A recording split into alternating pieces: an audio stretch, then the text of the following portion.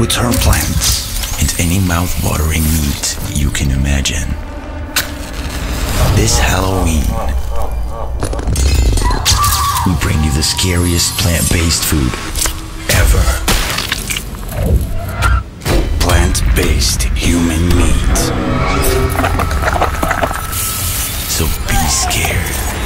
But relax. Cause it's plant-based. The human meat you dare to taste it?